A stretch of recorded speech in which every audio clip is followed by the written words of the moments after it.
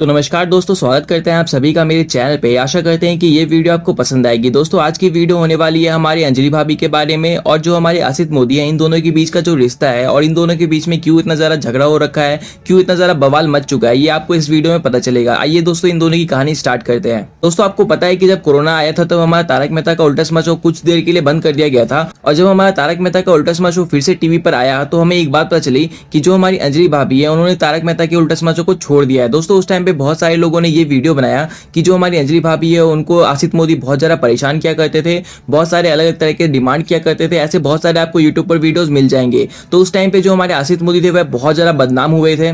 सबको ऐसा लगता था कि जो हमारे आसित मोदी हैं, उन्होंने अंजलि भाभी के साथ बिल्कुल ही गलत किया, उनको शो से निकाल दिया। लेकिन दोस्तों, तारक मेहता के उल्टा समझ शो में उसी टाइम नई अंजलि भाभी आ जाती है। उस टाइम पे लोगों को वो बहुत ज़्यादा बेकार लगती है, लोग उनको बहुत ज़्यादा गालियाँ देते हैं, लेकिन बाद में सब ठीक हो जाता है। बाद में ना ही हमारी पुरानी अंजलि भाभी कुछ कहती है, नई अंजलि भाभी कुछ कहती है और ना ही हमारे आसित मोदी इस मामले में कुछ कहते हैं। लेकिन दोस्तों, होता कुछ यूँ है कि अभी से कुछ दिन पहले जो हमारी अंजलि भाभी है, वह आसित मोदी पर बहुत बड़ा एलिगेशन लगा देती है। वो ये बोलती है कि आसित मोदी ने मेरे छह महीने के पैसे ही नहीं दिए हैं। और दोस्तों, जब हमारी अंजलि भाभी ने ये बात बताई कि आसित मोदी ने छह महीने के पैसे नहीं दिए हैं तो बहुत ज़्यादा बवाल मचने लग गया। लोग बोलने लग गए कि आशित मोदी ने ऐसा कैसे कर दिया, किसी के पैसे कैसे वो मार सकता है, किसी को पैसे कैसे नहीं दिए। और तारक मेहता की बहुत ज़्यादा बदनामी होने लग आसित मोदी की बहुत ज़्यादा बदनामी होने लग गई। इसके बाद दोस्तों, जब ये मामला बहुत ज़्यादा बढ़ रहा था तो हमारे आसिफ मोदी को सामने आना ही पड़ा। और उन्होंने कहा कि, हमने अंजलि भाभी को आखिरी टाइम फ़ोन किया था, हमने ईमेल्स किए थे, लेकिन उन्होंने किसी चीज़ का रिप्लाई नहीं दिया।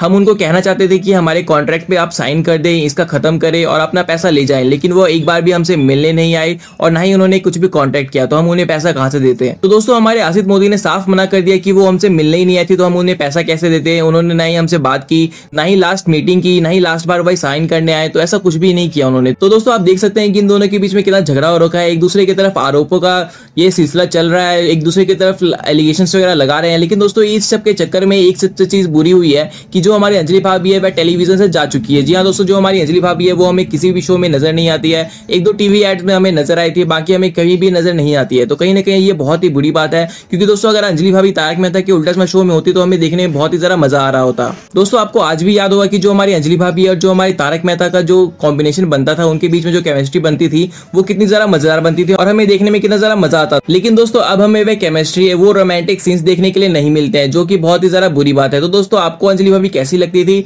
और आपका इन दोनों के बीच के कॉन्ट्रोवर्सी का आसिफ मोदी और अंजलि भाभी की कॉन्ट्रोवर्सी का क्या कहना है, ये मुझे कमेंट में ज़रूर बताइएगा। तो मिलते हैं अगले वीडियो में। हमारे चैनल को सब्सक्राइब कर दीजिए और हमें इंस्टाग्राम पर फॉलो कर दीजिए। Tata bye bye